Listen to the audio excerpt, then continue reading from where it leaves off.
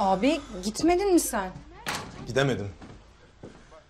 Nedenini soracaksan annem şimdi anlatacak bize. Anne? Ne var anne anne? Oğlun hayatında ilk defa kendi için bir şey yapmak istedi anne. İlk defa. Ben senin yuvan yıkılmasın istedim. Hangi anne oğlunun yuvası yıkılsın ister ki? Peki hangi anne oğlu hayatı boyunca mutsuz yaşasın ister? Kaçmakla sorun çözülecek mi sanıyorsun? Belki aranız düzelir diye düşündüm. Düzelmeyeceğini sen de biliyorsun. Senin derdin sadece Ayten Hanım olmak anne. Oğlun hayatı boyunca mutsuz yaşamış umurunda mı? Bulut yanlış düşünüyorsun. Sen sadece kendini düşünüyorsun. Abim haklı. Sen hiçbir zaman benim yanımda olmadın anne. Ben babamın yokluğunu hissettirmemek için hayatım boyunca sürekli çalıştım. Sürekli. Ben hayatımı feda ettim. Ama sana yaranamadım ben. İleri gidiyorsun Bulut.